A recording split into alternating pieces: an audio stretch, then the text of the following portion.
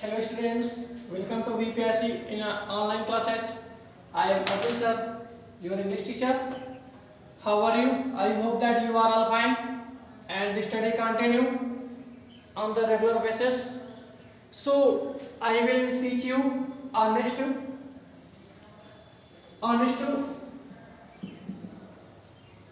study level जिसे हम लोग मोमेंट्स आज हम लोग मोमेंट्स का स्टडी करेंगे।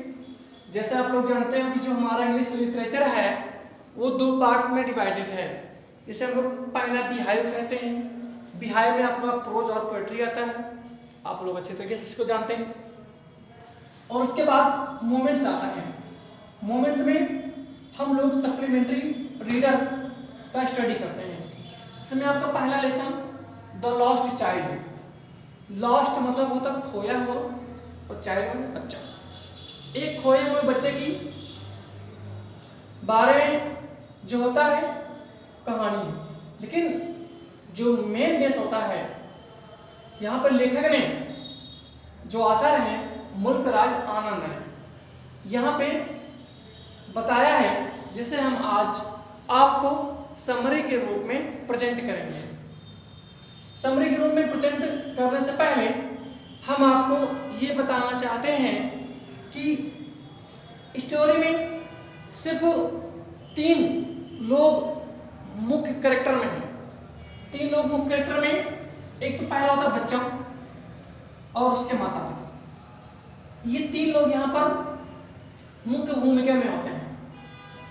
तो जब कहानी का स्टार्टिंग बेस पे होता है तो लेखक एक सबसे पहले एक बच्चे को रिप्रेजेंट करता है। बच्चे को रिप्रेजेंट करने के द्वारा बच्चा अपनी एक विश पूरा करना चाहता है। विश ये होती है कि गाँव के बाहर, ये कह लीजिए गाँव से थोड़ी कुछ दूर, पर एक मेले का आयोजन होता है। मेला जिसे हम लोग फेयर इंग्लिश में बोलते हैं। मेला का आयोजन होता है। बच्चा उस मेले में जाना चाहता है। वहाँ पर घूमना चाहता है और उस मेले का आनंद उठाना चाहता है। बच्चा अपनी इस बात को अपने पेरेंट्स यानी माता पिता से कहता है। उसके माता पिता उसे मेले में ले जाने से साफ़ मना कर देते हैं। क्यों कर देते हैं? मन इसका एक रीजन क्योंकि उनके पास कुछ लैक ऑफ़ मनी यानी धन का अभाव होता है। वह नहीं चाहते हैं कि स्पेंड हो, यानी पैसे का स्पेंड हो। लेकिन बच्चा बार बार जिद करता है कि हमें मेले में जाना है, हमें मेले में जाना है।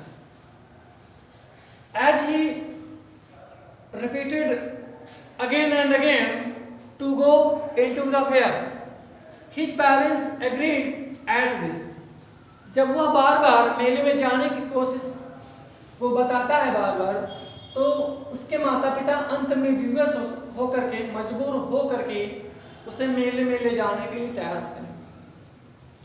उनके पास धन ना होने की वजह से अपने बच्चे से बोलते हैं कि वहाँ पर हमें कुछ भी वस्तुओं की डिमांड मत करना हमसे, यानी कोई भी वस्तु हमसे मत मांगना।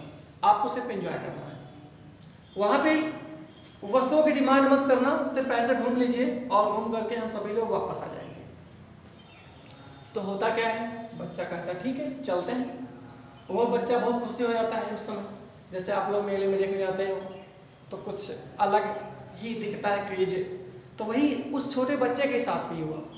तो मेले में जाने के लिए जैसे ही उसे परमिशन मिली, बच्चा बहुत खुशी हो गया, खुशी से झूम उठा और वह मेले में जाने के लिए रेडी हो गया।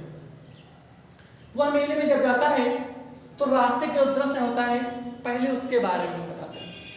बच्चा इतना खुश होता है कि खुशी से झूमते हुए आगे की ओर बढ़ता चला जाता है। रास्ते में उसे एक मस्टर्ड फ़ील्ड मिलता है। मस्टर्ड फ़ील्ड का मतलब होता है सरसों से भरा हुआ फ़ील्ड सरसों, आप लोग जानते हैं ना गाँव में होते हैं उगाए जाते हैं। वही यहाँ पर बच्चे को रास्ते में एक मस्टर्ड फ़ील्ड मिलता है, सरसों का खेत मिलता है। उस समय सरसों के जो पौधे होते हैं, उस पर पीले फूल उगे हुए होते हैं। बच्चे को जो दिखने में बहुत ही आकर्षक लगता है। बच्चे को आकर्षक पर इतना दिख लगता है कि वह वहीं पर रुक जाता है और सरसों के खेत में, यानी सरसों के खेत में प्रवेश करता है। बच्चे वहाँ पर देखता है कि कुछ बटरफ्लाई बटरफ्लाई एज तितली, जिसे हम लोग तितली बोलते हैं। तितली। और कुछ वहाँ पर ड्रैगन फ्लाइज होती है। वहाँ पर कुछ ड्रैगन फ्लाइज होती है।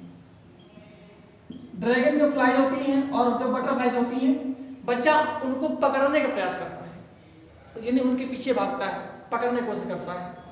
और वो बहुत खुश ही महसूस करता है अपने आप को, जब उनके पीछे भागता है। बच्चा इधर से उधर, सरसों खेत से इधर से उधर, लेकिन भागता है ड्रैगन फ्लाइज और बटरफ्लाई के पीछे।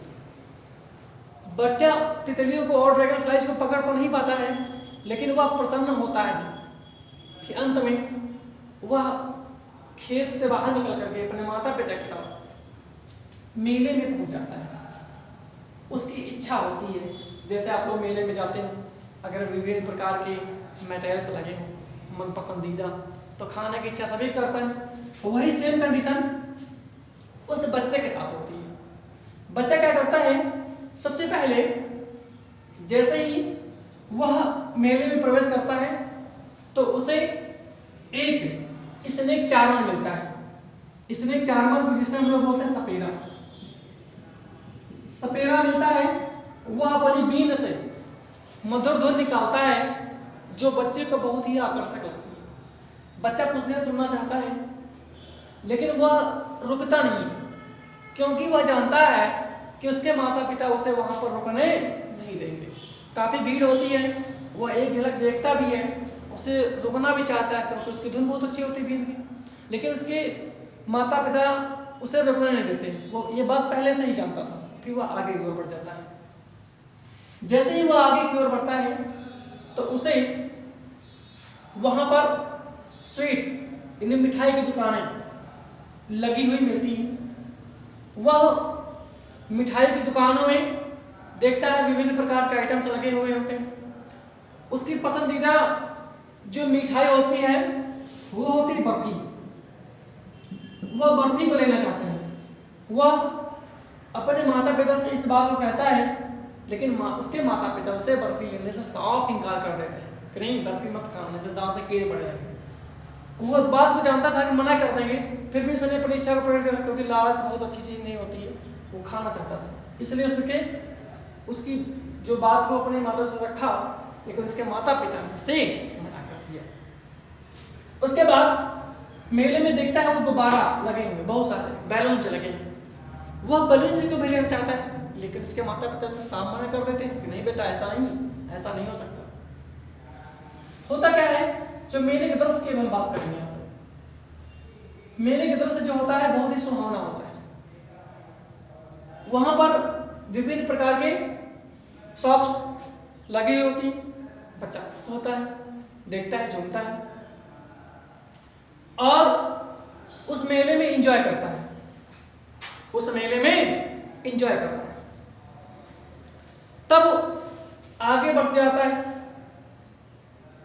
उस दृश्य को देखने के बाद दृश्य में मेले में उसने देखा, इसने चार मार सफेदा को देखा, उस दृश्य को देखा। स्वीट्स की मिठाई को देखा दुकानों को? मिठाई लेना भी चाहा, लेकिन नहीं मिली तो क्या किया जाए? बलून गुब्बारे की दुकान पर देखा लेकिन उसे वह भी पाने में से असफल रहा। तो बच्चा होता क्या है कि आगे आगे की ओर बढ़ जाता है और उसके माता पिता जो है, थोड़ा पीछे हो जाते हैं। मेले में जानते हैं आप लोग, बहुत भीड़ होती है, भारी भरकम भीड़, चलना दिक्कत। तो होता क्या है कि उसके माता पिता जो होते हैं मेले में पीछे रह जाते हैं और बच्चा आगे निकल जाता है।